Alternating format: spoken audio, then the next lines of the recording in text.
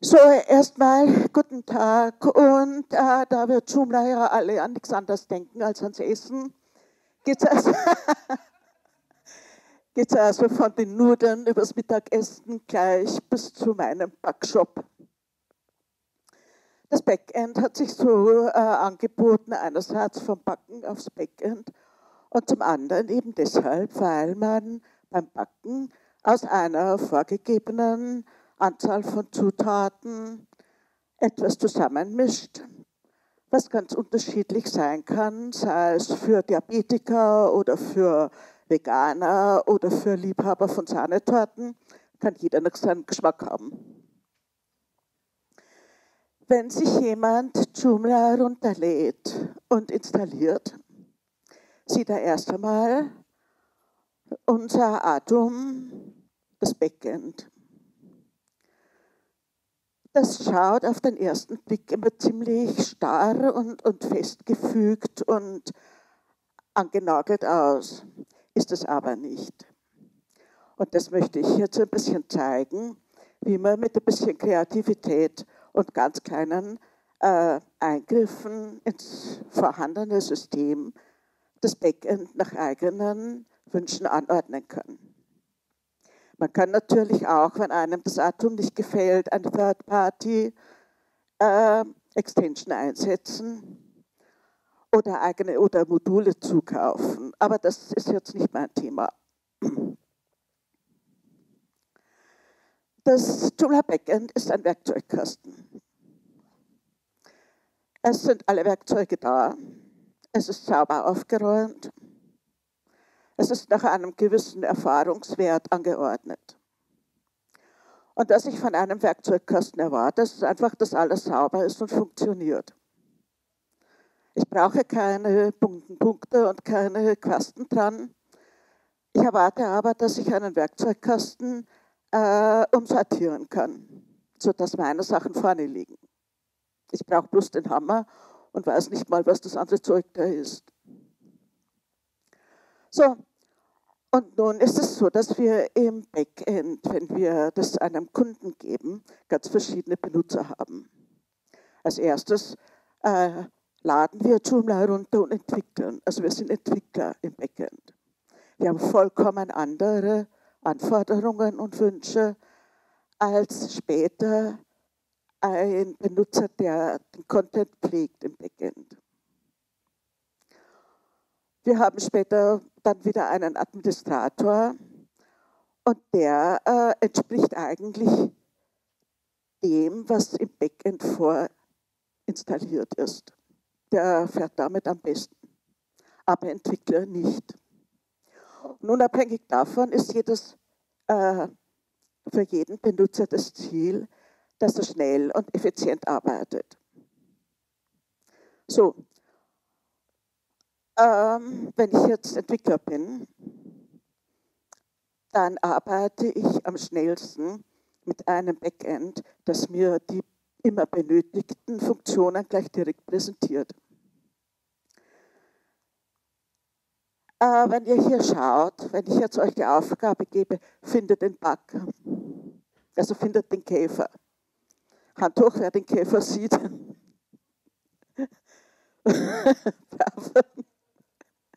Aber ich habe schon gesehen, also es gibt eine kleine Zeitverzögerung.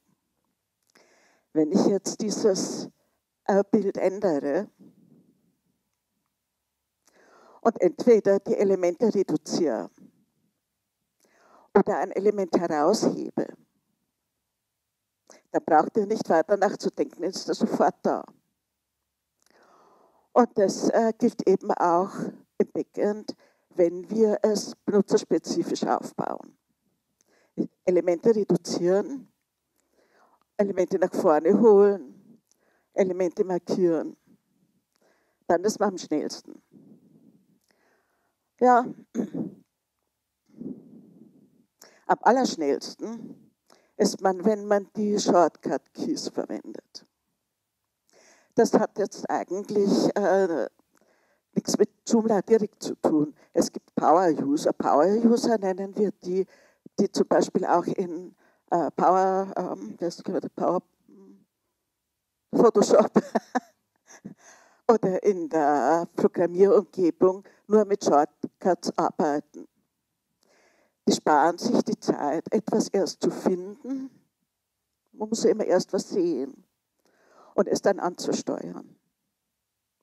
Diesen Shortcuts habe ich anfangs ein bisschen gebraucht, mich daran zu gewöhnen. Aber inzwischen habe ich mir das verinnerlicht. J, D, zack, bin ich im Dashboard. J, S, fertig, ich habe gespeichert. Also das ist das Allerschnellste. Es hat jetzt eigentlich nichts mit, äh, mit Back dir dein Becken zu tun. Ich wollte nur sagen, finden und greifen sind die zwei Zeiten, die anfallen. Mit Shortcuts kann man diese Zeiten noch reduzieren. So, als Entwickler äh, werde ich in meinem Dashboard jetzt erstmal alle Elemente deaktivieren, die ich nicht brauche. Wir haben ja bei jedem Modul einen äh, Bearbeitungsbutton, mit dem man entweder editieren oder ausschalten kann. Dann werde ich die Quick Icons, die ich habe, erstmal deaktivieren. Während meiner Entwicklung brauche ich diese Quick Icon Module nicht, sondern ich brauche meine eigenen. Und da kann man sich ja auch zunutze machen, dass man ein Modul kopieren kann oder neu aufbauen kann. So, ähm, ups, ja, ich kann eigene Buttons definieren, Linklisten und Modulpositionen kreativ verwenden. Also jetzt schauen wir erstmal äh, die Template-Positionen auf unserem Backend an. Man muss sich immer klar machen, das Atom ist einfach ein Template. Template Template Template. Genauso wie Cassiopeia oder irgendein eigenes Template. Es hat Modulpositionen und äh, die kann ich für mich verwenden. Ganz oben, ich weiß nicht, ob das Ding jetzt funktioniert. Nee, funktioniert nicht. Also ganz oben seht ihr ein Custom Top.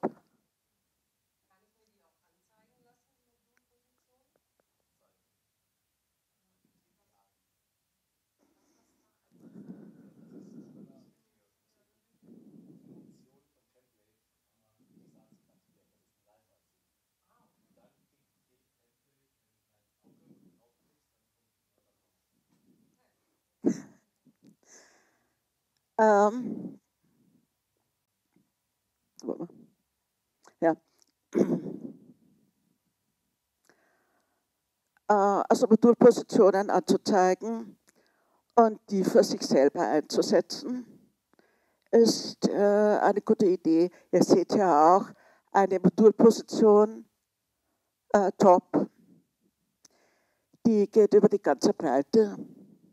Und wir hatten schon öfter Anfragen, was kann ich im Backend machen, um ein Modul über die ganze Breite anzuzeigen. Ich will nicht immer die, äh, die Zweiteilung haben. So, dann kann man sich also Module auf diese Position setzen. Dann seht ihr da oben in der, Status, in der Statusleiste lauter einzelne Module. Auch die kann man für sich verwenden. Und schließlich haben wir das Menümodul natürlich auf der Menüposition. Das ist jetzt insofern wichtig, als alle diese Module auf der Zugriffsebene special sichtbar sind. Also wer Backend-Zugang hat, Administrator, Superuser, äh, Manager, sehen die Elemente auf dem Label Special. Und das ist nachher wichtig, wenn man neue Benutzer dazu nimmt. Jetzt erstmal äh, könnte ein Modul, wenn ich es mir für mich eingerichtet habe, so ausschauen. Ich benutze das Custom Top, um meine Entwicklungs Installation zu kennzeichnen. Damit ich nicht aus Versehen auf der produktiven Anwendung irgendwelche Experimente mache. Auf der schalte ich das dann natürlich wieder aus. Ähm, auf dem, äh, bei den Quick Icons habe ich mir die Quick Icons eingeschaltet, die ich bei der Entwicklung ständig brauche. Template,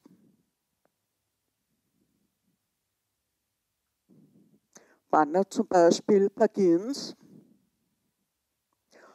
Und dann habe ich mir, weil das äh, für mich immer ganz schnell zu finden sein muss, das, äh, die Konfiguration gebastelt, nur mit dem Quick Icon Configuration. Und das mit einer CSS-Klasse, Border, Border Rate, ein bisschen hervorgehoben. Das finde ich ja so schnell, brauche ich nicht lange suchen. Dann gibt es ja noch im Normalfall das System Panel. Und dort finde ich, was ich auch oft brauche, Verwalten und Installieren von Erweiterungen. Dazu habe ich mir jetzt eigene Buttons gemacht. Einfach auf einem Custom-Modul Links zu den entsprechenden Funktionen eingebaut. Button, fertig. So spare ich mir den Umweg über System, Verwalten, Installieren. Also alles nur, um einfach schnell zu sein.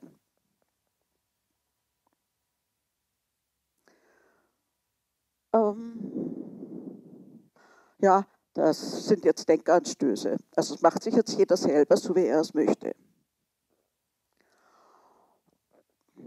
Und äh, dann gibt es noch eine, wenn wir dann auf den, für den Kunden die Seite installieren, gibt es noch eine Position namens Sideboard. Da findet man als Entwickler ganz praktische Hilfe, äh, Links.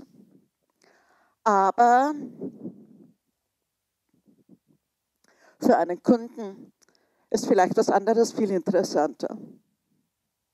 Vor allem, wenn wir viele Kunden haben, die nicht besonders erfahren sind, kann es durchaus sein, dass die den Webmaster anrufen wollen, wenn sie ihr Passwort vergessen haben.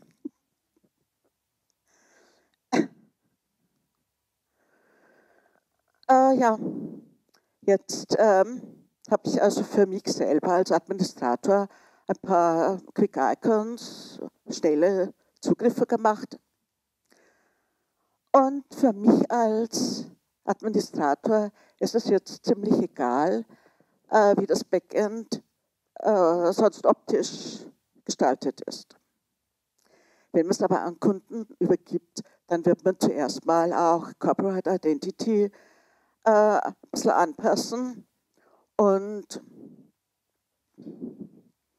äh, eigene CSS verwenden. Und das können wir bei Atom genauso wie bei jedem anderen Template. Wir haben Positionen, wir, haben, wir können die Klassen nachschauen und dann eben so gestalten, wie es zum Kunden äh, Corporate Identity passt.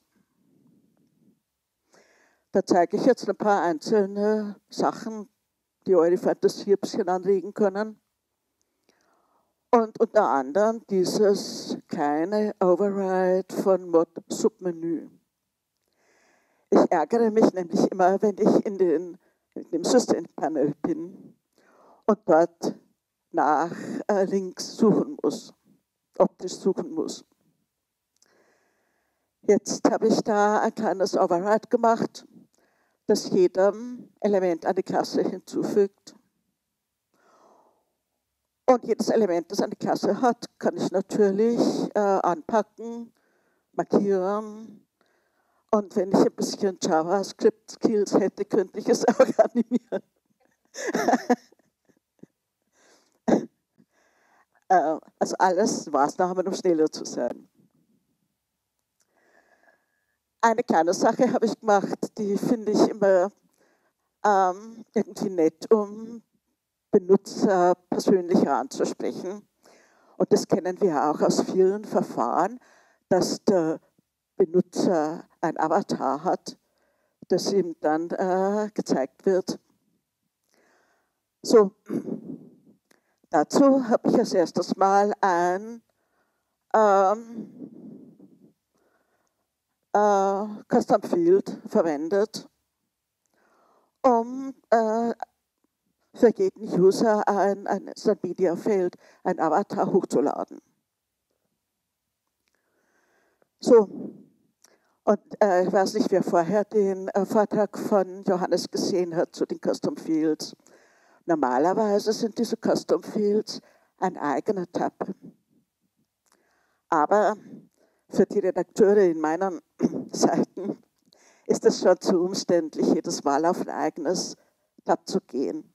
Die wollen ähm, das lieber direkt auf, dem, auf diesem User-Panel haben. Das war ein kleines Override von Com Users, vom Profil. Und dann habe ich diese ähm,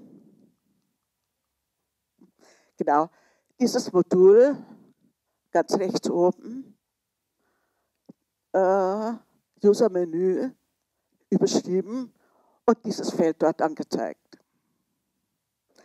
Das macht bei den Kunden immer einen netten Eindruck, wenn sie ihren Avatar sehen.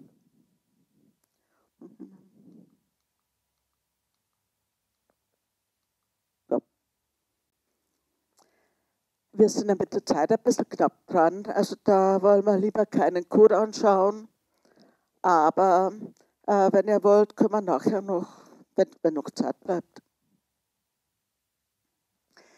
Die äh, üblichen Sachen, wenn man die, die Logos einsetzt von den Kunden, das glaube ich ist bekannt. Da werde ich jetzt mich nicht damit aufhalten. So, jetzt kommt ein wichtiger Punkt, das sind die benutzerspezifischen Menüs. Und da äh, habe ich also gleich zwei Warnungen.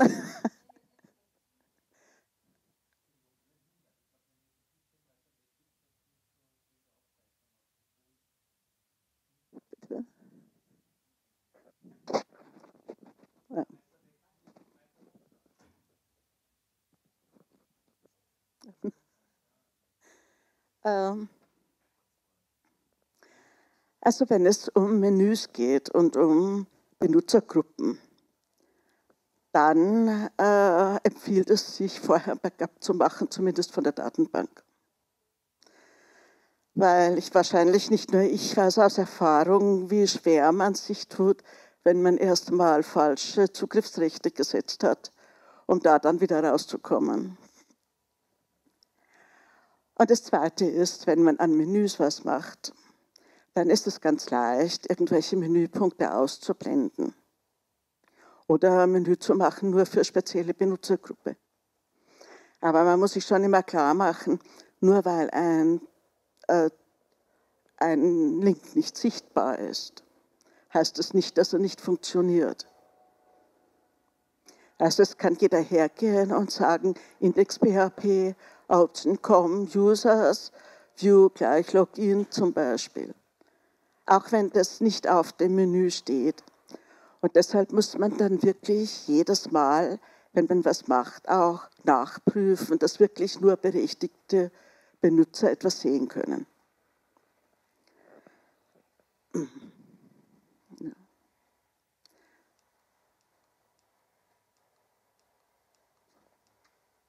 Ja. Also ähm, um Menüs zu ändern, gibt es verschiedene Möglichkeiten. Die für mich einfachste ist, ein Preset zu verwenden oder zu äh, überschreiben. Die Presets, die verstecken sich in, äh, im Backend. Und da kommen Menüs, Presets. Und die sind bei den Overrides nicht direkt zugänglich. Also da muss man auf der altmodische Art arbeiten und sich, um ein Override zu machen, die äh, entsprechenden, ähm, entsprechende Verzeichnis und das entsprechende Preset direkt in das Template kopieren, das Template-Atom kopieren. Die Presets selber sind äh, XML-Files und das ähm, kann man leicht lesen und interpretieren. Also für jeden einzelnen Menü-Item sind da die Definitionen festgelegt. Wo geht es hin, der Link, äh, was für ein Typ ist das, äh, ob man ein Pluszeichen dahinter hat für ein Quick Task, also für schnelles Edit, ob es ein äh, Dashboard dazu gibt. Und jetzt kann man, jetzt mal ganz, ganz kurz nur, äh, diese, äh, zum Beispiel den Punkt Medien aus dem Content herauslösen. Irgendwie stört mich das immer, dass Medien im Content drin ist. Denn die Medien brauche ich ja überall. Also auch in eigenen Komponenten. Also gehe ich einfach her, mache mir da ein Verzeichnis, Com-Menus, Presets und überschreibe, ändere Default XML, ziehe nur diesen einen Menüpunkt drunter. Das kann man natürlich ausarbeiten und alles ganz kompliziert machen.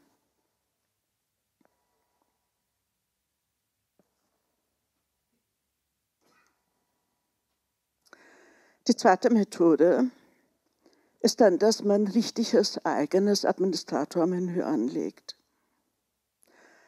Das äh, geht über übers Backend. Also wir haben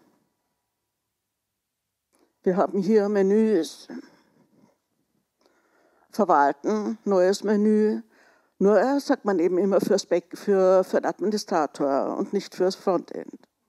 Und da kann man ganz normal wie üblich arbeiten. Um dieses Menü dann anzuzeigen, muss man natürlich ein Menümodul machen für Backend. So, und jetzt kommt zwar dieses Menümodul, äh, wenn ich das für eine bestimmte Benutzergruppe mache. Wo ist das dann sichtbar? Welche Sichtbarkeitsebene gebe ich dem? Und da wird es jetzt ein bisschen knifflig eben auch, weil ich vorher gesagt habe, mit den Benutzerrechten. Wenn ich das einfach auf Ebene Special setze, dann sieht es auch der Super-User immer. Wenn ich das nicht möchte, kann ich zum Beispiel, muss ich eigene Benutzer, eigene Ebenen aufbauen und sorgfältig schauen, welche Benutzergruppe, welche Benutzergruppe welche Ebene sehen kann und muss die ganzen Module vom Backend äh, unter Umständen neu überdenken. Welcher Benutzer darf welche Module sehen? Das kann ganz schön knifflig werden und eben auch deshalb sage ich also unbedingt Back Backup vorher.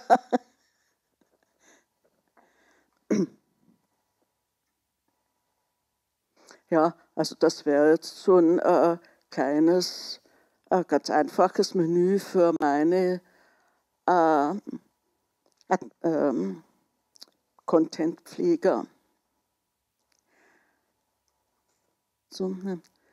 Was ich jetzt ähm, eigentlich online, also direkt zeigen wollte auf einer Installation, aber ich weiß nicht, ob wir jetzt noch Zeit haben. Das wäre, wie man äh, Tabellen, Tabellenspalten reduziert. Aber das habt ihr wahrscheinlich schon gesehen. Man kann jetzt Tabellenspalten einfach äh, markieren und ausklicken, ausblenden.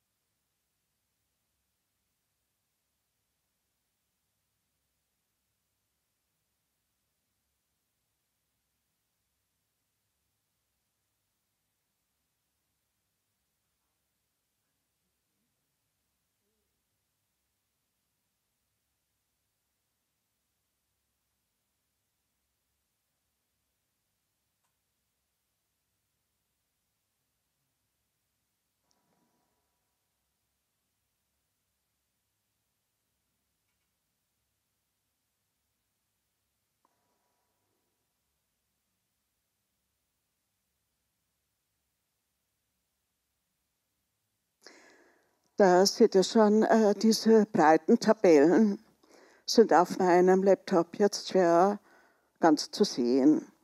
Und das ist eine meiner Lieblingsfunktionen in der Version 4, dass ich hier Tabellen, Spalten ausblenden kann.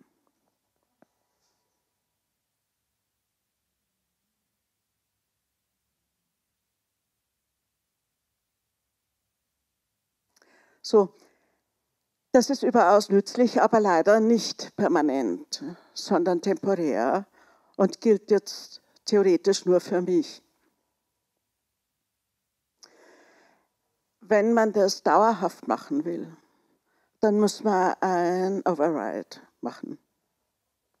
Das ist ja nicht schwer, einfach sich diese, diese äh, Tabelle nehmen und bestimmte Elemente ausblenden oder streichen.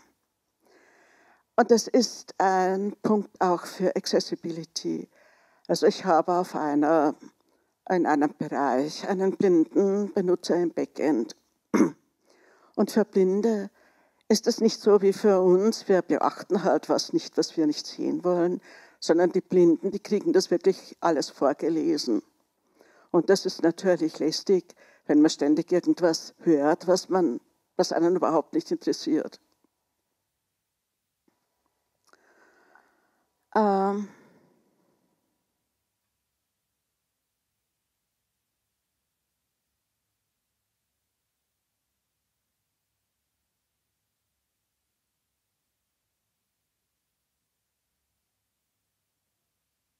kann man da nicht.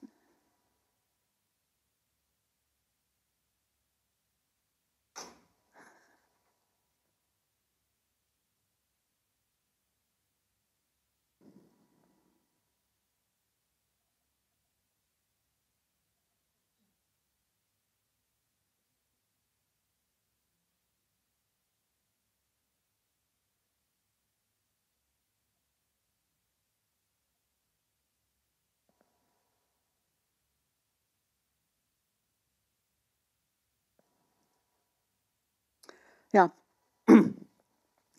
Also hier bin ich jetzt nochmal in meinem, ähm, in meinem Backend. Und das waren eigentlich die wesentlichen Dinge, die ich jetzt zeigen wollte. Jetzt weiß ich nicht, wir könnten jetzt Schluss machen und sagen, äh, dann holen wir ein bisschen Zeit auf, weil Viviana auch noch möchte. Oder wollt ihr äh, vielleicht noch den Code zu einem Override sehen?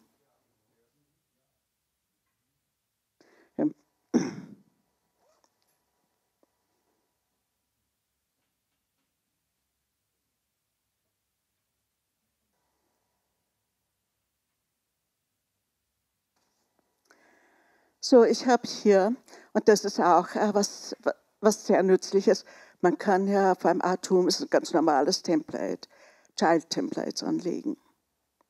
Also ich kann für jeden Benutzer, zum Beispiel auch für meinen Blinden, ein extra Child-Template anlegen und das diesem einen Benutzer zuweisen. Dann kann ich für den ein Override einsetzen, der für den die Tabellenspalten auf fast gar nichts reduziert. Aber alle anderen haben die ganz normalen Tabellenspalten. So. Und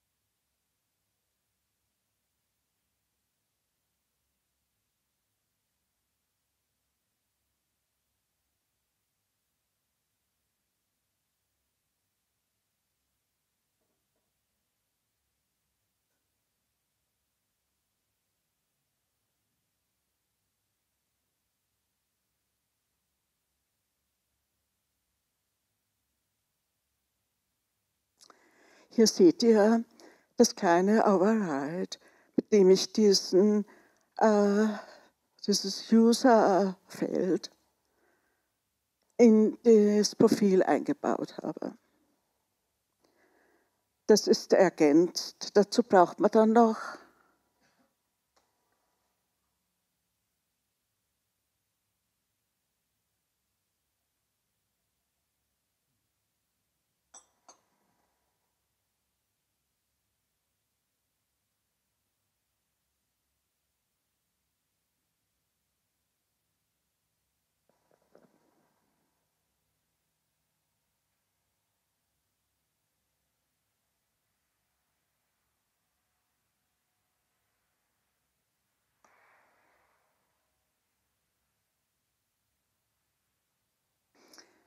Ja.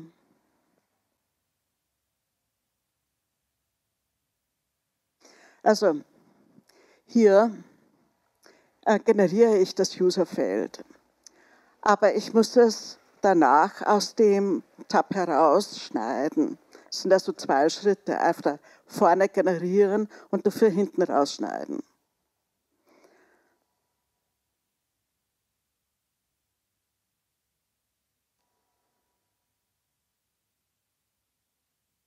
Das hier ist dieses kleine, äh, das kleine Override für das Menü.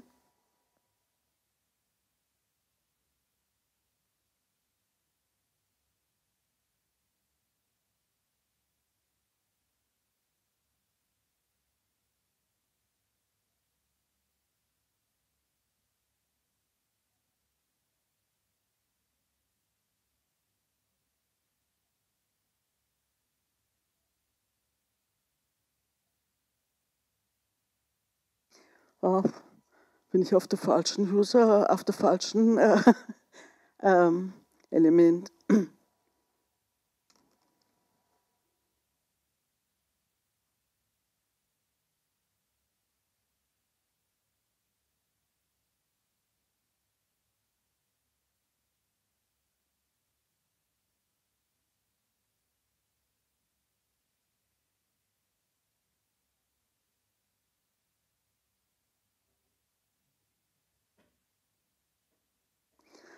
Es ist ein bisschen schwierig. Ne?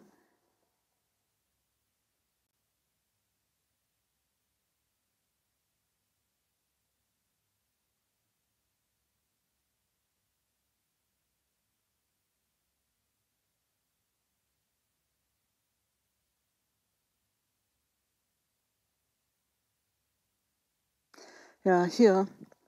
Ähm, das hat, ist eine, ein kleines Override. Hier habe ich einfach eine Nummer. Dieses äh, Menü wird also Schritt für Schritt aufgebaut. Da habe ich einfach jeden dieser, ähm, dieser Elemente in äh, System-Tab eine Nummer zugeordnet. Und mit diesen Nummern kann ich dann im User CSS beliebige äh, äh, Markierungen machen. Also, also Kartnummer vergeben, dann weiter unten habe ich eine Itemnummer vergeben und das äh, ergibt dann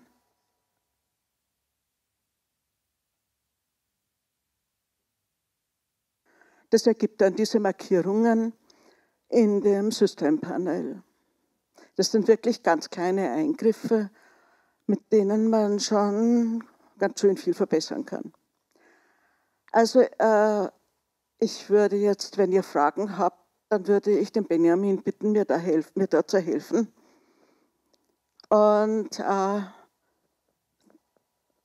willst du mein äh, Headset haben?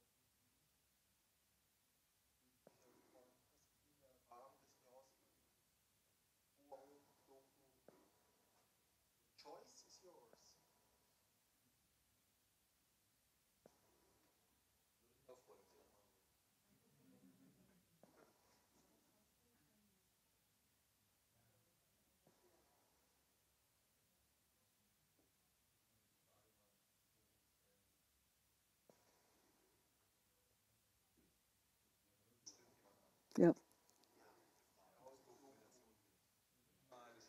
Das hier.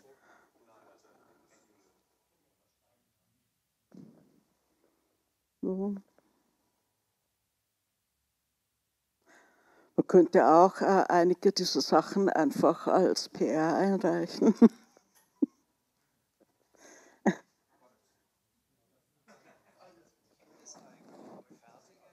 mit den alternativen Backend-Templates ist in der Regel ein Wartungsthema.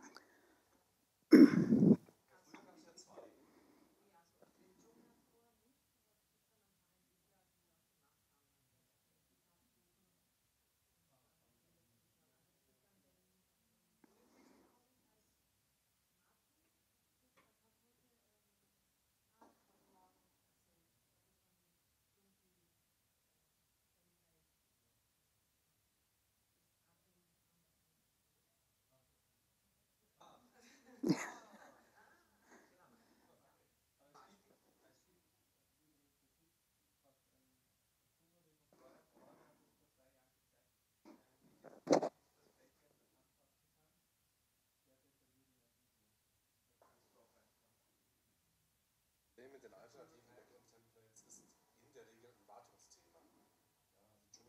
fortlaufend neue Funktionen und Backend-Template-Entwickler verlieren oftmals die Lust, das dauerhaft zu maintainen. Das ist bei ganz neuen Funktionen, das klingt oftmals gar nicht so schlimm, weil komplett neue Ansicht, das ist dann einfach die Core-Ausgabe, die rauskommt, man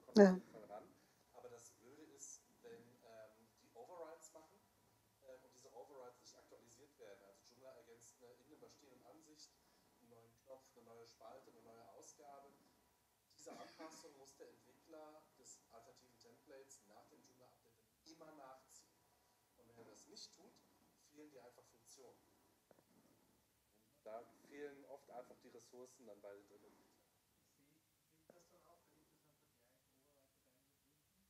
Ja, genau. Also du würdest, du könntest dann sehen, ähm, dass es da ein Override zu überprüfen gibt.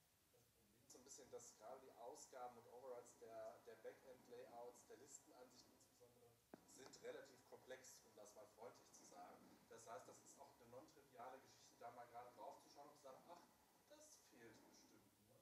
Ähm, das, ja, das fällt dir wahrscheinlich auf die Füße.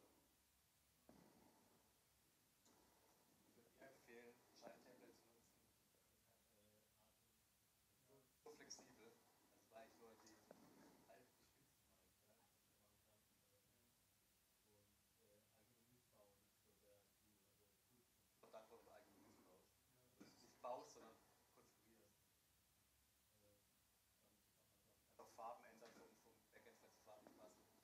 du einen Dropdown willst,